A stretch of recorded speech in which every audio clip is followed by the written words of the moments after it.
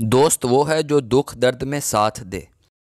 अगर अपना करदार आला और मज़बूत करना हो तो ख्वाहिशात को दबाओ और तकलीफ़ को बर्दाश्त करो। औरत इंसान की सबसे बड़ी कमज़ोरी है। औरत में गमंड हुसन की वजह से होता है।